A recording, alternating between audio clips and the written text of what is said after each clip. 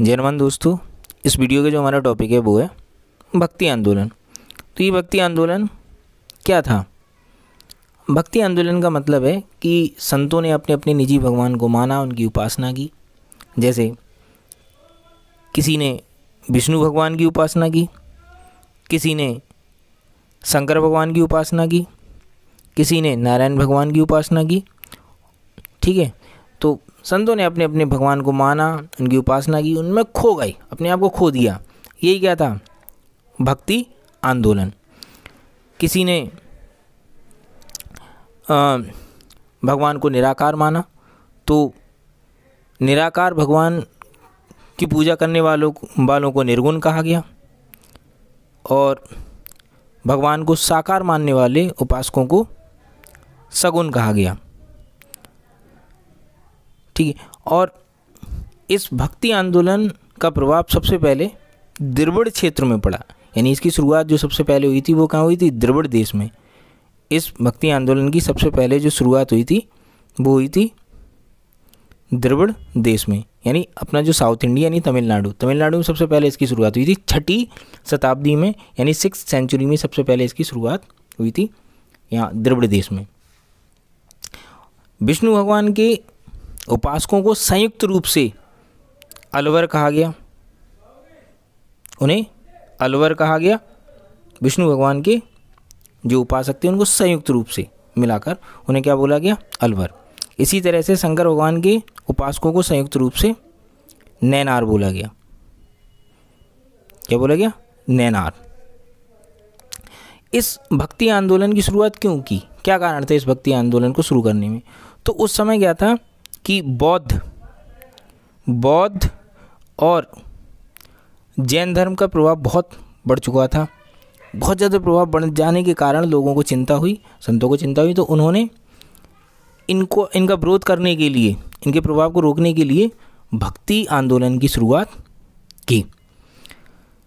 और भागवत पुराण में भी दिया है कि आपके जीवन का सबसे सुखद अंत भक्ति के द्वारा ही हो सकता है।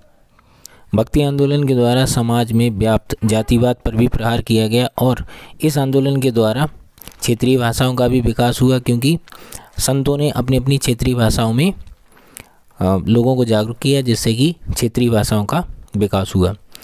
दक्षिण में भक्ति आंदोलन की शुरुआत आठवीं शताब्दी में महान दार्शनिक शंकराचार्य ने की। शंकराचार्य ने की, इन्होंने विशुद्ध अद्वैतवाद, इन्होंने विशुद्ध अद्वैतवाद का प्रचार किया। अद्वैतवाद का मतलब कि इन्होंने कहा था कि जो ब्रह्म है, जीव हैं, वो तो एक है ही, और ये जगत भी एक है। यानी हम, यानी जो ईश्वर है और अपने लोग जो जीव हैं तो ये तो ईश्वर है ही मतलब अपने लोग तो ईश्वर का पार्ट है और जगत भी पार्ट है, लेकिन जो जगत हमें दिखता है, वो एक तरह से मिथ्या है, वो भी भगवान का ही पार्ट है। तो ये इनका था विशुद्ध अद्वैतवाद, शंकराचार्य का। विशिष्ट अद्वैतवाद के प्रवर्तक रामानुजाचार्य हैं, रामानुजाचार्य। और शुद्ध अद्वैत मत या पुष्टि मार्ग के प्रवर्तक बल्लभाचार्य हैं। वल्लभाचार्य वल्लभाचार्य हैं।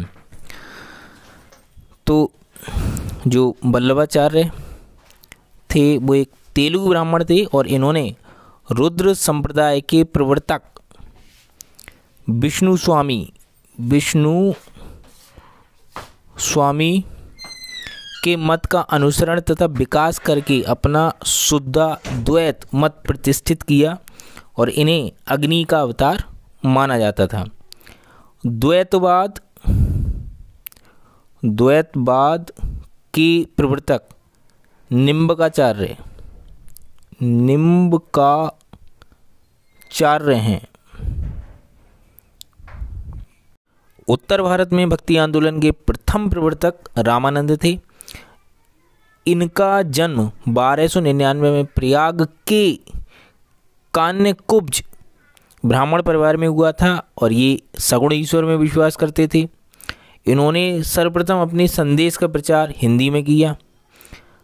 कबीर रामानंद के बारह शिष्यों में से एक थे। शंकरदेव ने कामरूप में वैष्णव धर्म को लोकप्रिय बनाया। कामरूप जो कि असम में स्थित है और इनके धर्म का जो मूल्य उद्देश्य था वो एकेश्वरवाद था। वे विष्णु या उनके अवतार कृष्ण को अपना अभीष्ट मानते थे। इन्होंने एक शरण संप्रदाय की स्थापना की। ये कर्मकांड व मूर्ति पूजा दोनों के विरोधी थे। इन्हें असम के चैतन्य के रूप में प्रसिद्धि प्राप्त हुई थी।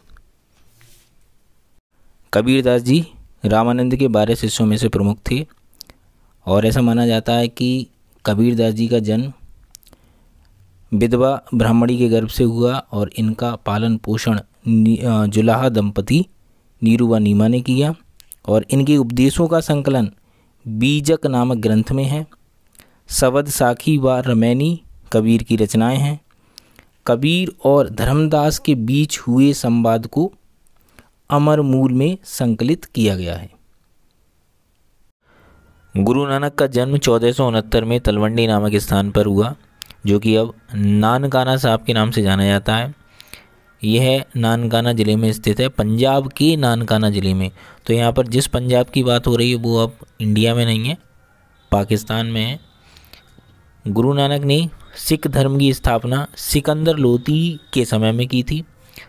नानक एकेश्वर बाद में विश्वास करते थे तथा निर्गुण ब्रह्म की उपासना पर बल देते थे। गुरु नानक का कहना है, ईश्वर व्यक्ति के गुणों को जानता है, पर उसकी जाति के बारे में नहीं पूछता, क्योंकि दूसरे लोक में कोई जाति नहीं है। गुरु नानक ने गुरु का लंगर नाम से मुक्त सामुदायिक रसोई की शुरुआत की। उनके अनुयायी किसी भी जाति पर ध्यान दिए बिना एक साथ भोजन करते थे। मीराबाई मेड़ता के रतन सिंह की इकलौती पुत्री थी। इनका जन्म चौदह में मेड़ता के कुदकी ग्राम में हुआ था। इनका विवाह उदयपुर के प्रसिद्ध शासक राणा सांगा के ज्येष्ठ पुत्र युवराज भोज से हुआ और इन्होंने भक्ति आंदोलन में महत्वपूर्ण भूमिका निभाई थी।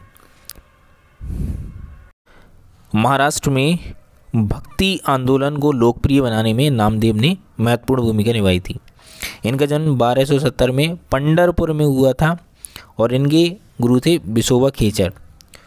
तो बिशोबा खेचर एक नागपत, नागपंथी कनफड़े ने रहस्यवादी जीवन की दीक्षा दी, तथा ईश्वर के सर्वव्यापी स्वरूप से परिचित कराया। नामदेव ने कहा था, एक पत्थर की पूजा होती है तो दूसरे पत्थर को पैरों तले रोंदा जाता है। यदि एक भगवान है तो दूसरा भी भगवान है। इनके कुछ जो गीतात्मक पद हैं, वो गुरु ग्रंथ साहब में संकलित हैं। तुकाराम का समय 1608 से सोलह के मध्य माना जाता है। इनका 1608 में जन्म हुआ और सोलह में ये अदृश्य हो गए। दादू दयाल का समय पंद्रह से 1603 का माना जाता है। त्यागराज का समय सोलह से अठारह सौ सैंतालीस का माना जाता है। त्यागराज, भक्ति मार्गी कवि एवं कर्नाटक संगीत के महान संगीतज्ञ थे। भक्ति आंदोलन के प्रसिद्ध संत महाप्रभु चैतन्य का जन्म बंगाल के नदिया ज़िले में एक ब्राह्मण परिवार में हुआ था। उनके पिता का नाम जगन्नाथ मिश्र तथा माता का नाम सची देवी था। चैतन्य के बचपन का नाम निमाई था। चैतन्य ने कृष्ण को अपना आराध्य बनाया तथा उन्हीं की भक्ति का प्रचार किया। महान संत कवि तुलसीदास जी अकबर व जहांगीर के समकालीन थे। इन्होंने कई ग्रंथ लिखे जिनमें कि रामचरित मानस व विनय पत्रिका प्रमुख हैं। इन्होंने रामचरित मानस की रचना अविधि में की।